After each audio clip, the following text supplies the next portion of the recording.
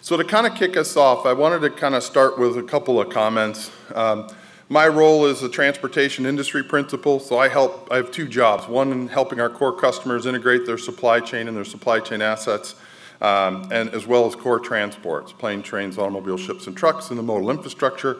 And uh, Martin is uh, head of our metals mining materials, uh, print, you know, uh, strategy and group, so he's the industry principal for that.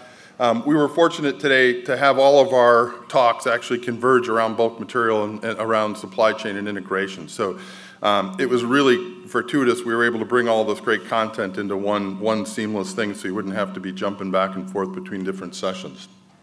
But to kick things off, I wanted to, uh, I wanted to talk a little bit about the big picture. Um, you know, we're all on a digital journey, and you heard the keynotes. We're all, you know, uh, both our customers and OSI, we're all on a digital journey for transformation. And our journey continues, and we're all at different places at different times. Um, really, every step that we take that builds on continuous improvement, uh, we, we deliver more and more value as we kind of build through that journey. It's an important part of, of, of realizing the value, moving to the next step, and iterating as quickly as you can uh, to, to increase. From my perspective, really the supply chain pieces are the IoT archetypes, right? They are the, the next big thing that's coming along that's generating significant value, the supply chain 2.0 or 4.0, whatever you want to call it. Um, but it's really creating some tremendous uh, value propositions and also almost delivering on the promise of supply chain integration that happened almost 10 years ago.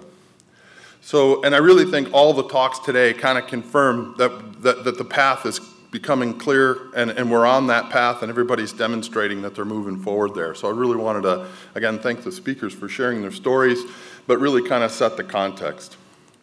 Now, one of the things, I, I don't know if anybody's uh, seen or read this book. I read this book earlier this year and I was really taken by it um, so much that I wanted to call attention to it. This book really talks about total value optimization. You know, we always talk about value at OSI and, you know, your value and how to drive value. This really kind of brings the highlight to value and how to bring the whole company up to the maximum value it can deliver. Um, it's a great book. It's a little preachy. This is a consulting firm. Uh, I actually reached out to Stephen. He wasn't able to join us here today. I was hoping he might come and share, share his uh, story directly, but it's around a digital maturity model, which, which we, are always talking about. We're always in that process of. Um, this is kind of the model that they bring, and of course we normally focus on the operations piece, and the part that, that, that, that Martin and I collaborate on is really around the logistics part, but there's also a procurement part. And, and they talk about all three of these and build a model and a metric for how you build through that, that maturity model. So that's one, one of the things I thought was really great about it.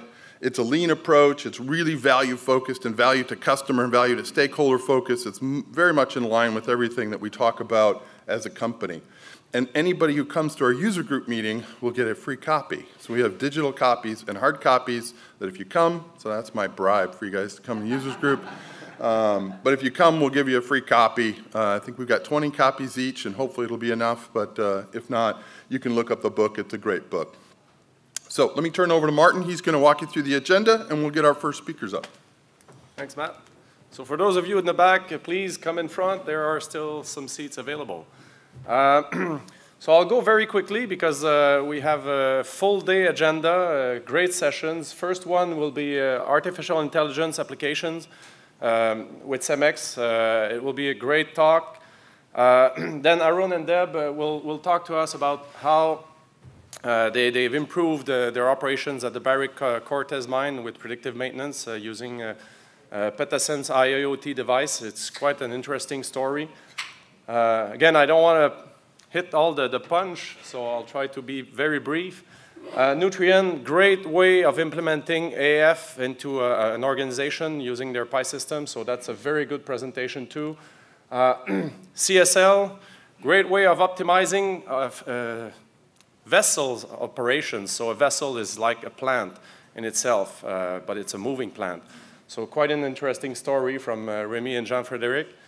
Uh, next one, Lydia and John um, will talk about how they can manage their underground uh, vehicles, underground equipment, and how they can see where everything is located, people, vehicles, equipment. So quite an interesting story here also. Uh, ArcelorMittal, Michel will present us uh, how they use the PI system at the heart of their all integrated supply chain. So quite an interesting story here too. And then uh, Patrick and uh, Flavio will talk about uh, how they use the PI system as their, their, their integration strategy for, for, to, to, to, to deliver or to um, enlighten Industry 4.0. So quite an interesting story here too. And then uh, our user groups, uh, we'll have Francois that, that will talk about the, uh that will do actually a, a steel demo, uh, quite an interesting story for those metals customers that we have in here. And uh, we'll also look at the, using machine learning with, of course, the PI system on haul trucks to determine the remaining useful life. Of course, this can be applied to other types of assets, but in this case, the demo will be on haul trucks remaining useful life. So quite an interesting story here too.